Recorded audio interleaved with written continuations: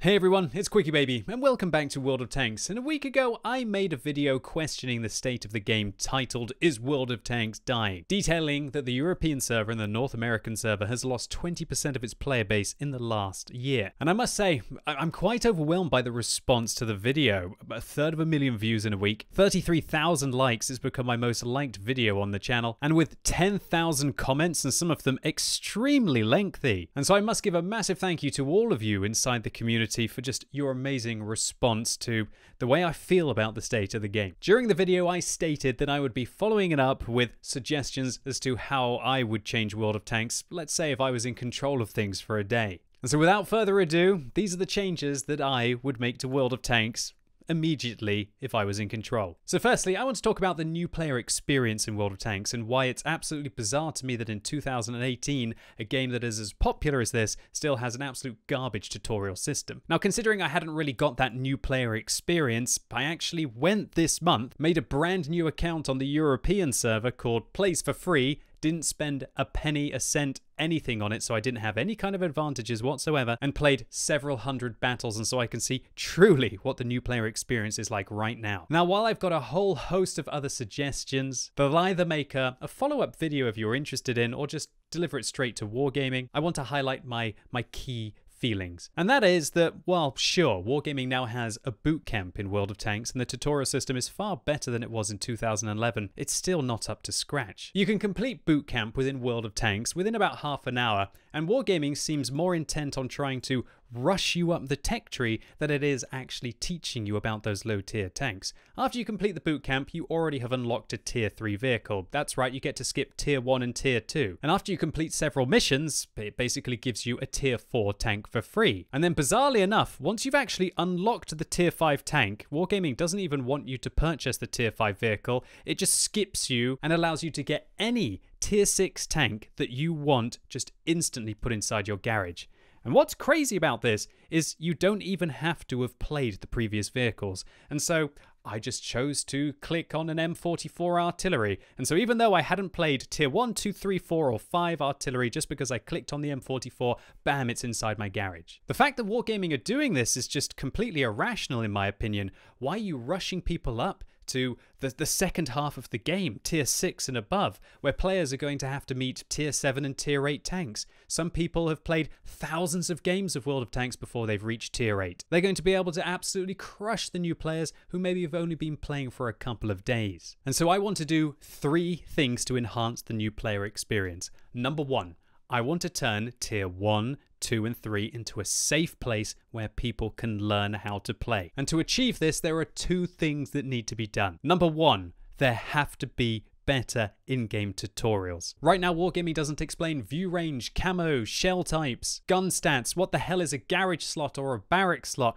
but more importantly, it doesn't even tell you about the different types of tanks. It, honestly, it doesn't give you a choice. Do you want to play light tanks, medium tanks, heavy tanks, tank destroyers, or the other class, you know, self-propelled guns? Why not give players a choice as to what they want to try out at the start of the game? How absolutely insane is it that a game that has been out for seven or eight years doesn't even have a tutorial system that explains what the different classes of tanks are good for. Right now, the game doesn't even tell you what the artillery class is and why as a new player, you are getting hit by tanks that you can't even see. It doesn't explain at all that there are an indirect fire class that will hit you if you do not hide behind objects. Wargaming are paying to advertise their game to bring in these new players into it, but they're not even providing them with the information to allow them to learn, survive, and to grow into dedicated tankers. Instead, they're cap catapulting them up towards tier 6, where in my opinion a new player unless they're guided would stand no chance in hell. Think about it like this, you could kill two birds with one stone have a video pop up in the garage which explains how view range and camouflage works and if the player watches it from start till finish it awards them with a pair of binoculars that then they can use in on whatever tank they want to actually be able to see the opponents that are shooting at them. Talking about seeing opponents that are shooting on them, I'm going to talk about something that I think is going to be a bit controversial for all of the SEAL clubbers out there. That is that uh, I'm sorry guys, but you do not deserve to have overwhelming advantages against tier 1, tier 2 and tier 3 tanks. You may not know this ladies and gents, but I can tell you in the last few weeks I have seen some habitual seal clubbers. Take, for example, this gent who has played nearly 7,000 games in a tier 1 vehicle. These seal clubbers are preying against the new players, killing them over and over and over again because they can't compete at the high tiers. And so, what is a new player to do against somebody who's probably got about 5 or 6 crew skills in a tier 1 vehicle, probably using equipment, possibly even using chocolate on the tank? They can literally see the new player before they can fight back. Isn't it more than enough that the seal clubber has experience on their side, why does their tank also just need to be flat out better? than the new players. And trust me, this is not an isolated example. And one thing that I noticed about these SEAL clubbers is that quite often they don't even bother to purchase tier 8 or tier 9 tanks. They don't have any premiums apart from the rental vehicles or, or free ones that Wargaming have given them. They're literally sitting at low tiers in overpowered tanks, playing thousands and thousands of battles, just smashing the new players before they even have a chance to, to grow up. Now, initially, I thought about addressing this by kind of putting all of the SEAL clubbers in their own little matchmaker So they have to queue for longer so they don't play against the new players. But considering the World of Tanks population is dwindling, I'm not sure that's going to be sustainable, and frankly, the new players need to get into games as quickly as possible before they get bored and go and watch a YouTube video or go play Fortnite. Secondly, I thought, is there any way we can limit um, an exceptionally experienced player from just playing the same tank again and again and again? And then I thought, well, that's not fun. They, surely they can play the game however they want. And so this made me realize that it's not about stopping the SEAL clubbers from being able to play overpowered tanks and to play at tier 1 5,000 games. I think it's more important that we arm the SEALs. Now, how do people get advantages at low tiers in World of Tanks? Well, number one, there's crew skills. So immediately the first thing that I would do is give 100% crews to all tier 1 to tier 3 vehicles. Secondly, players use things like Sixth Sense and, and Brothers in Arms and concealment, etc., etc., to be able to get an extreme advantage. And so I would go as far as to at least give every tier 1 to tier 3 tank Sixth Sense, or alternatively, maybe you could give all tier 1, 2, and 3 tanks three skills for all of their crew members, but prevent them from being able to move them up to high tier. In addition to this, SEAL Clubbers use the advantage of having consumables on their tanks. And so while I'm not suggesting that you have to make them free, perhaps sell them at a reduced rate, but only between tier 1 and tier 3. Or why not go as far as to have specific consumables like a, a small repair kit or a small med kit or a, a small fire extinguisher that you can just use for free on tier 1, tier 2 and tier 3. Next up, experienced players have a huge advantage because of the equipment that they can use on their vehicles. The first thing that I would do is as soon as somebody completes a, a, tutorial where they, they know how view mechanics work, they're given one or two pairs of binoculars for free. If Wargaming are worried about people selling them, well, just make a, a special pair of binoculars that's given that works in the same way that only sells for one credit. Because right now, as soon as you get up to tier 2 and you have a 50% crew and you don't have a pair of binoculars, you literally can't see 200 meters in front of your tank. I think Wargaming seriously need to wake up and realize that players like this are actively destroying your low tier matchmaker. There's no reason for people to want to play around tier 1, tier 2 and tier 3 after they've played 10,000 games of World of Tanks. They're playing there because they have an unfair advantage.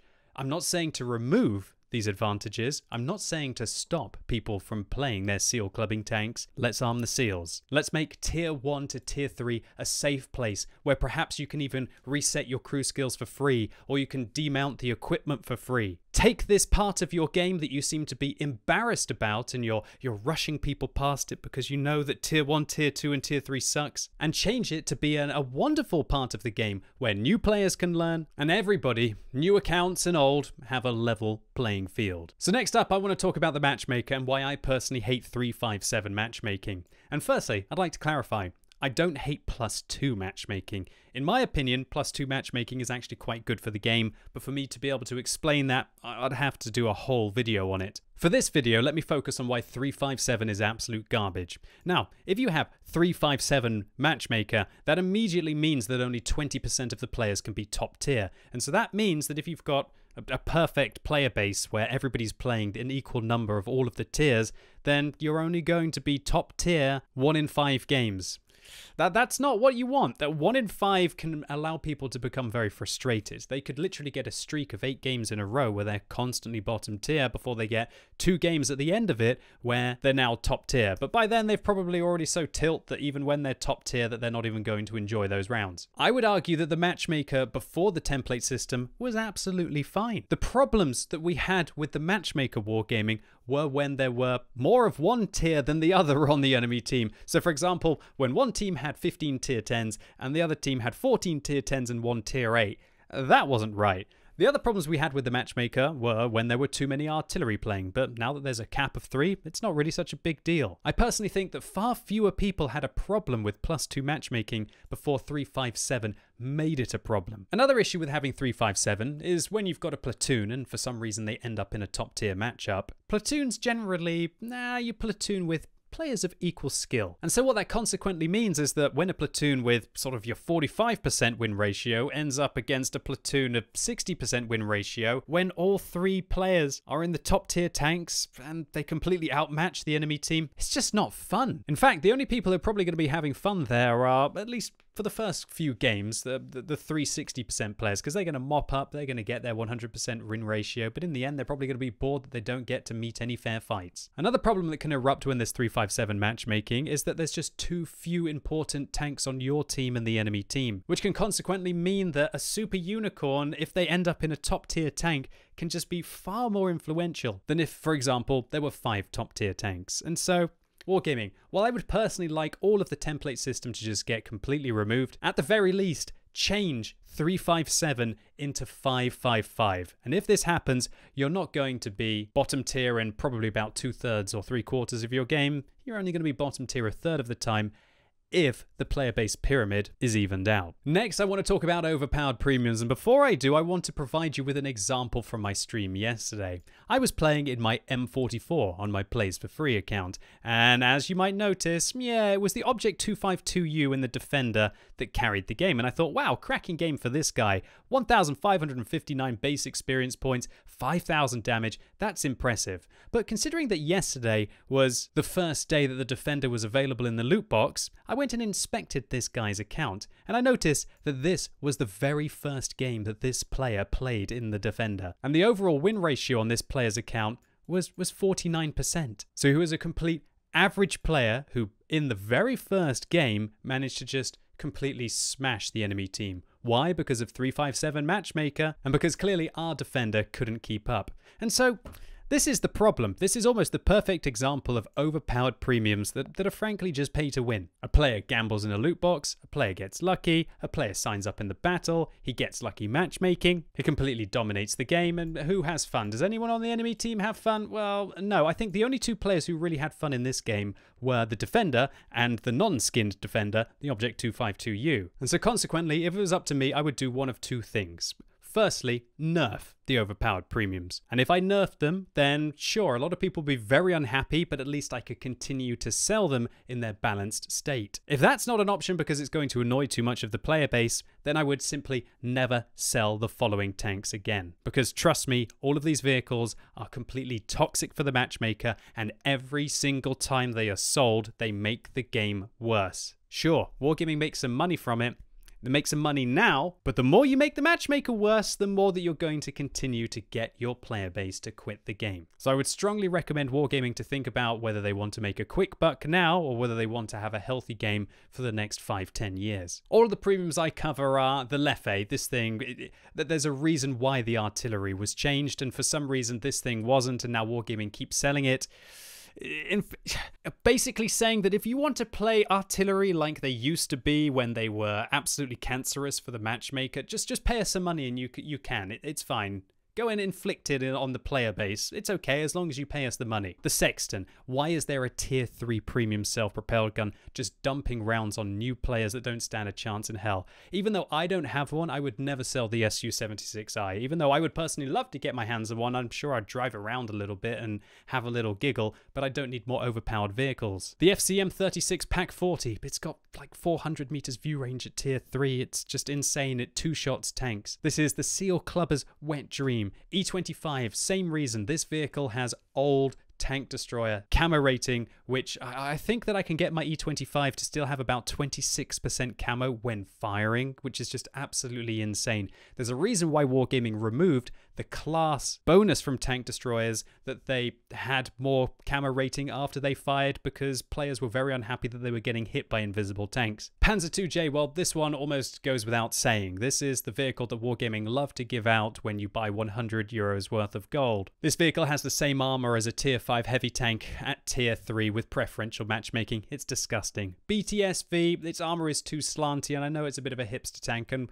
while this is probably one of the the, the lesser of the two 100 euro evils, as I'm going to call it, it's still too good. Then we've got two German heavy tanks. Well, actually, sorry, two German medium tanks that are just too crazy good. Their view range is too high. Their guns got too much good aim time and accuracy. There's just no need. Putting the 85mm back on the T28 and giving it better frontal armor and dumping it in as a tier 4 premium medium tank was just ludicrous. The T3485M, for some reason this vehicle not only has one of the best frontal armors on any mid-tier medium, it also has one of the highest DPMs now to go along with it, with higher alpha damage than many tier 7 medium tanks. The KV220, uh, what is there to say? Sure, it's got a weak turret, but this is a tier 6 heavy tank hull at tier 5 with preferential matchmaking. The Panzer B2740, this thing's insane. This is a tier 4 heavy tank with super preferential matchmaking that never has to meet tier 5 vehicles. And I have seen whole platoons of these filthy seal clubbers just destroying games multiple times. They're signing up in them again and again and again and again, padding their win ratio, doing the equivalent of stuffing socks in their pants, because frankly, any numpty could be able to win 70% of their games in this vehicle in a platoon if you know what you're doing. And finally, the Object 252U, aka the Defender. It's killing tier 8, but you know, that's fine as long as you're willing to to gamble in some loot boxes to get it, right? Come on, Wargaming, please don't try and make the quick buck now. Think about the longevity of the game. All right, now I want to be talking about Wargaming sale tactics, and uh, as you will know how I was very annoyed at them in my video yesterday. When I went to Cyprus, uh, me and a bunch of other community contributors got Wargaming to promise that they would never sell new content in bundles at an inflated price, i.e., but what they were doing originally is they were trying to take the American Tier 7 Scorpion, sell it with 5,000 gold, or sell it with a month of premium, things that maybe you didn't want, but you wanted the tank just to be able to bump up the price to 50 euros. It was very cheeky of Wargaming, and it was kind of the last straw, at least for me as being a tank collector, that it was a ludicrous amount of money that they wanted to get us to start spending on the game. Wargaming promised to never sell new content inside bundles, and uh, pretty much they, they've kept their word on that. However, with the IS-3A and the fact that it was only available in loot boxes this year and it's not available for purchase separately, I'm going to call out Wargaming on reneging on that promise that you made to me in Cyprus 2016, and at the very least, in the future, please consider that at the very least, to be able to call your loot boxes non-gambling, that you should make all of the contents available for purchase outside. Now, I'm not telling you to make it cheap. Sure, some of the skins are very valuable. If you want to charge 20 euros for a skin, that's fine. Do it. It would have probably been cheaper for the player to actually just gamble in some loot boxes to be able to get the skin, but at least they have an option. Why not make more money, but also give people more choice? Isn't that win-win? And also, as with the, the IS-3 example recently, whenever a tank is significantly changed to the point of now being interesting, I think it should be sold again separately so that people can now purchase the vehicle. I don't think... I, I just... I really can't stand Wargaming sale tactics when they put on flash sales of tanks and then they buff them down the line and then they never sell them again because they know that now that they've buffed them, they're more valuable. I feel like whenever uh, they're changed, they should be available for purchase, which alleviates the pressure on the player to think, oh, will I ever be able to get my hands on this thing again? I know I don't really want it right now, it's not even really good, but maybe in the future it will be. I just feel it's so backhanded, it's not honest, and I personally really don't feel like you need to monetize in that way. Next up, I want to talk about overpowered tech tree tanks. Look, I know there are a hell of a lot more of them out there, let me just talk about the ones that I have noticed playing my free to play account. And I'm literally talking about habitual seal clubbers who are playing. Look at this guy. Nearly 4,000 games in his T67 just because I guess he loves playing overpowered vehicles. And so I would nerf the following. The Panzer 1C, sure it's absolutely hilarious to bomb it around at tier 3 and just use that spray and pray gun, but I think either its aim time, its clip damage, or its mobility could be just tuned down a little bit so we can lower its win ratio from like 53% down to 50 global average. The T67, for, for the reasons that I just showed you, this tank is not actually useful in the hands of a new player because they don't know how to use its mechanics to be able to dominate. The reason why the T67 is incredible is because once you've got a great crew, once you're willing to fire gold rounds all the time, once you've got binoculars and a, a gun rammer and a camo net on the vehicle, and you've got a, a full concealment crew, so you've now got incredible camera rating on the tank as well. You can outspot your opponents, and you can use the flexibility of the tank to outplay them with your knowledge of the game. For a new player, this tank really has no none of the attributes that it needs to be able to give that person the, the chance of fighting back, or shall I say, being successful in the vehicle. And so I would most likely maybe nerf the premium round penetration on this tank, nerf the rate of fire, nerf the mobility of the vehicle, or just somehow lower its camo rating. All right, next up, I'm going to be talking about the R35 and the H35. These two tanks have something silly like 40 millimeters of all round protection at tier 2. That's just insane. There are many tanks at tier 1, tier 2, and 3 that can simply just not penetrate these vehicles without firing premium rounds. It's absolutely ludicrous. I've seen these things literally kill the entirety of the enemy team during those Christmas events where there's lots of low tier autoloaders in the matchup. It's just absolutely outrageous. Next up, the Matilda, uh, the tier 4 British medium tank. Even though it's it's not really more of a medium, it feels more like a heavy with a godlike gun with incredible shell velocity, great DPM, enough armor to be able to tank, and something stupid like 10 degrees of gun depression, a decent view range.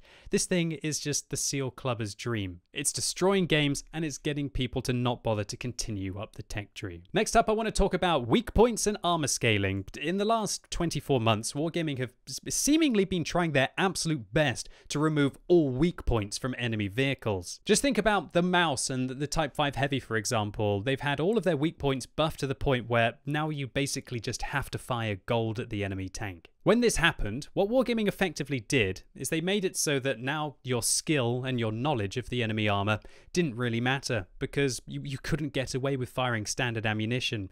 Now, the only option, even for a skillful, knowledgeable player, was to dab the 2 key, load the gold to be able to penetrate the enemy tank. If Wargaming were to return weak points on enemy vehicles, such as weak cheeks or having cupolas on the top of the tank, which allowed you to penetrate standard rounds into the enemy vehicle, I don't think that nearly so many people would be getting frustrated about the amount of gold spam there is, because I don't know about you, but at least for me previously, at least people attempted to penetrate you with standard rounds. Now it just feels like everybody preloads gold rounds, and then when I'm driving my heavies, I, I, I don't stand any chance. The armor buff doesn't help against gold rounds, or premium ammunition, whatever you want to call it. The armor buffs only helped against standard rounds, and so it basically taught the player base to just not fire any standard ammunition anymore, only fire premium and gold rounds, and so now it was almost useless to try and use your armor in the Maus intelligently. The only real benefit to the buffs of the, the weak points on the Type 5 Heavy in the Maus was the amount of people that have to lose credits playing tier 10 and consequently have to buy premium tanks and premium accounts to be able to afford to, to still be competitive. Next up, I would probably do one of my favorite things if I was in charge of Wargaming for a day. I would change the Type 5 Heavy premium round to have less penetration. Because let's be honest here, the premium rounds on the Type 5 Heavy are just flat out better in every single way. They have the same penetration, but they just do an extra 300 damage. And this is the epitome of pay to win in World of Tanks. If you want to spend one or 2,000 credits, then you're going to do 1,100 damage. If you you want to spend four, five, six thousand credits, well, gentlemen, then you can do an extra 300. And that's not a small amount. We're talking about an extra 27% damage. And so do you know what?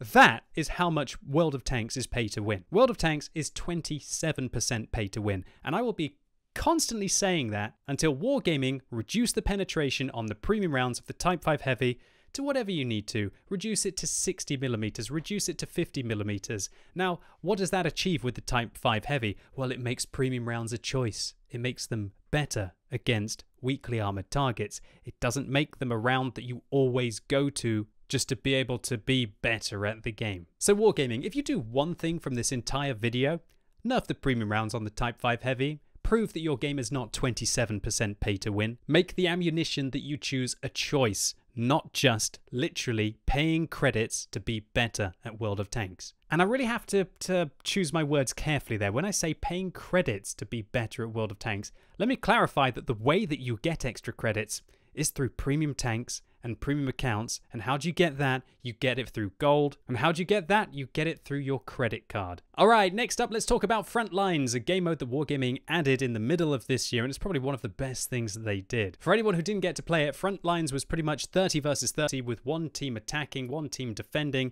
and instead of the map being one kilometer squared, it was now nine times bigger at nine square kilometers. These battles truly felt epic. If you got killed by a player, you could respawn and then go back at them and get your revenge against them. If you saw that one flank was going really badly and you didn't want to continue to push it, you could respawn on the other flank and try and make the effort there and then go back to try and assist your allies later on in the battle. Frontline was absolutely epic because it gave us a break from the garbage 357 matchmaking, felt fresh for the few weeks that we had access to it, and we didn't have to spam gold rounds at our opponents because everybody was the same tier. However, uh, one thing that I want to clarify about Frontlines is that I don't think Frontlines proves that people want plus zero minus zero matchmaking or plus one minus one matchmaking. I think if I was to play front lines as the only game type in World of Tanks, I would become hella bored about this because it has a huge lack of variety. And so I would personally bring back front lines as soon as possible and I would make it a regular occurrence. Maybe bring it back every couple of months, every three months, with a unique reward like a skin, a crew member, or a tank for, for each one of the, the frontline sessions. The only really changes I'd make to front lines is that I would fix some of the spawn locations and stop all spawn camping that was happening. I would keep the same epic feel, but I would still make sure that Frontline was not detrimental to the random matchmaker. Now, what do I mean here?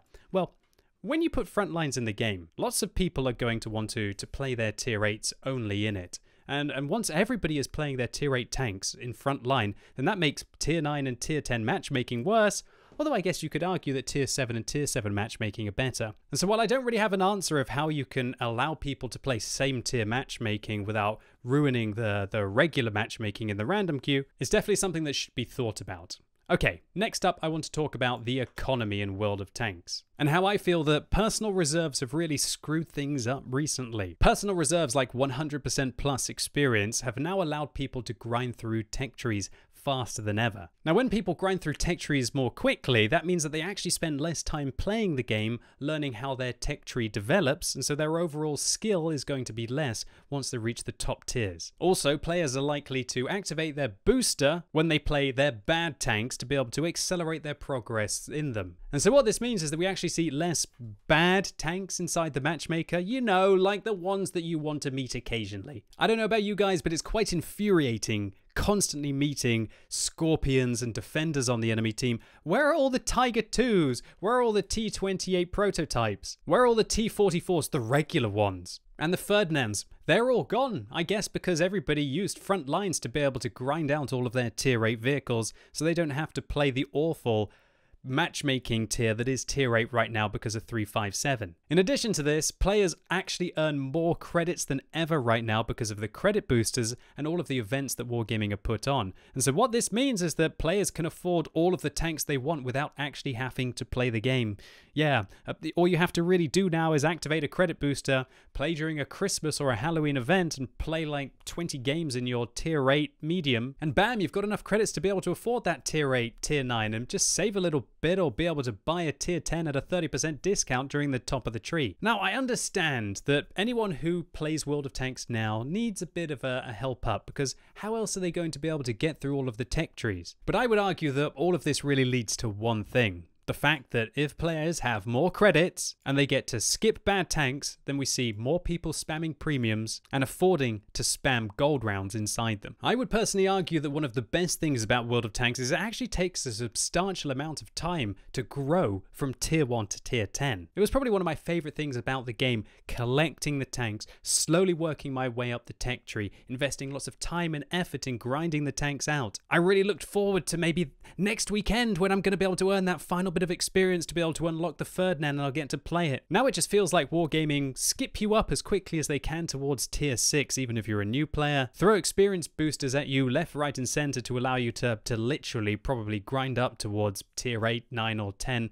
within a few days. Next up, I want to talk about bonds in World of Tanks. And for anyone who doesn't know, bonds are a special currency that you can get for playing the ranked battles game mode, as well as in very small amounts um, uh, for other events that Wargaming release. Now, I actually disagree with the idea of bonds because currently the only really good thing that you can spend them on are advantages inside the battle. You can buy improved equipment that pretty much just makes you about 3% better than all of the other tankers out there. And the people who actually get the bonds are already the people who are playing ranked battles, the best players, so why in hell's name would you want to be giving the best players an advantage? And so I would completely change the ideology of bonds from being a currency that gives the best players an edge over all of the other tankers to being the most valuable currency in World of Tanks. Not because they give you an advantage, because they can give you some really kick ass sought after goods.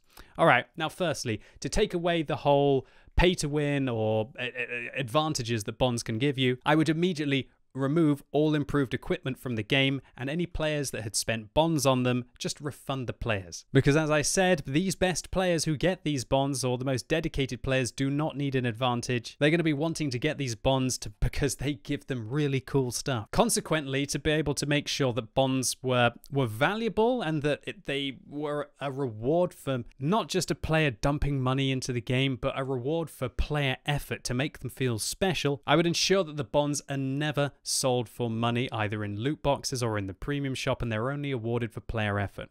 Now, what would I, I, allow these bonds to purchase? Well, I think that you should be able to buy epic skins or epic styles for your tanks, a lot like what we saw in the loot boxes recently. Or alternatively, you can use the bonds to buy special tanks, maybe even the Clan Wars reward vehicles. And if the Clan Wars reward vehicles are too precious and all of the Clan Wars players are going to be in uproar about purchasing them for bonds, then maybe sell unique and rare tanks that would be really sought after by the community. And to enable more players to be able to get more of this sought after currency either with their skill or with their effort, I would award more bonds in more frequent events. Effectively, I would want to turn bonds from being something that you feel like you're forced to have to grind to just be competitive at the game to being something that you want to grind so that you can get fat, epic rewards that don't necessarily just mean that you're going to be better than the next tanker. Finally, I want to talk about some things that I couldn't really address in this video because I'm still trying to figure them out. Firstly, let's talk about it. Premium ammo, gold rounds, whatever you want to be calling them. My problem is, is that the game has basically been completely intrinsically balanced around their use. Let's face it, we've seen the Type 5 Heavy and the Maus buffed specifically so that they're useful against standard rounds, but still not useful at all against premium rounds. There are vehicles in the game that have frankly been balanced around premium round usage, and the idea of just nerfing premium rounds now, just think about what that would do. Who benefits if you nerf the damage of premium rounds, for example? All that it does is it makes armored vehicles better. So let's say tomorrow I become CEO of Wargaming and I say that, oh, all premium rounds are now going to do 50% less damage. What does that mean? Well, what that means is that basically I would jump out and play my T110E3. I would go play my Maus. I'd go play my Type 5 Heavy. I'd probably play my IS-7 a lot more because all of those vehicles would receive a mega buff. What vehicles would I not play any longer? Mm, light tanks, medium tanks, some tank destroyers, I guess, that don't rely on their armor. If you simply nerf the damage or nerf the penetration of the premium rounds, it just makes armored tanks better, and vehicles that don't depend on the armor at all, like the Leopard for example, are going to get worse by proxy. If Wargaming were to nerf the damage of premium rounds or nerf the penetration of premium rounds, there has to be one other thing that's done, and that is a complete rebalance of all of the other heavily armored tanks in the game. I'm literally saying every vehicle that you would have to fire premium rounds at to stand a chance in penetrating would have to have their armor nerfed. We're talking about Maus Cheeks, nerfed, Type 5 Heavy, Cupola, and it's it's mid plate nerfed. Object 268 version 4 nerfed. The list goes on. And to be able to achieve that, a complete rebalancing of all of the armor of, of heavily armored vehicles in the game, it sounds like a lot of work, and I would probably try and work on fixing all of the other things that I've mentioned, especially the new player experience before then. The reason why more people are firing premium rounds now and they're becoming an issue in the game is because the economy is giving people too many credits. Next up, there's another big thing that I'm trying to figure out, and that is the health at lower tiers. My problem is that new players are dying too quickly, and they don't have a chance to be able to learn from their mistakes or, or react to the situation as it's developing. Many vehicles of equal tier can literally two-shot, if not one-shot, the enemy tank. I don't know how I would do it, but I would somehow try and increase tank longevity at low tiers. With perhaps a percentage-based health loss, maybe that could help? Again, I'm still trying to figure out these things. And you know what, there's also another thing that I should add to the list. Like, why SPGs are more annoying than ever. I don't know, I don't know how I would fix it. All, all I, all I want to say is that they're still bloody annoying, and I think that they hit you far too often because of their large splash radius. They don't do enough damage to make you go back to the garage, but slowly but surely they're going to whittle you down, which is just incredibly frustrating. You lose your crew members constantly. And importantly, there's that god awful stun mechanic that I have no idea why it was ever thought that that would make us more happy to play against artillery. The fact that we can no longer fight back for the next up to 20 seconds. Whoa, gee, that's a lot of fun. And if any of you have suggestions to any of these things or you want to add to the discussion, you're more than welcome to do so in the in the comments down below. Anyway, ladies and gents, that was a long video, but I felt like I, I owed it to you. I'm trying harder than ever to put the effort in to be able to do my research, to be able to think around these issues, and not just cry about it, but offer right now solutions or even promises that Wargaming could make us to restore our faith in their game and what they want to do with it going forwards. And so to any of the Wargaming staff members out there, I, am ready to discuss any of this. If you want to do it either in public or in private, on the record, off the record, I'm all ears. I want to help in any way I can because I bloody love this game. But you know what? If there's one thing that I would love to do more than anything in this list, let's improve the new player experience. So anyway, ladies and gents, that's it. This was a long one. Congrats if you made it to the end. And while I know not everybody is going to be happy with the suggestions that I make and Remember, we all have different opinions. I'm trying to listen to as many of them as possible so I can continue to improve and form my opinion so I can make the very best suggestions possible. So I'm really looking forward to seeing what you all have to say in the comments. Anyway, I did it. I, I followed up on a video. I told you a week ago I was going to do this. I did it. Enjoy. And as always, thank you so much for watching. You've been epic, and hopefully, I'll see you soon.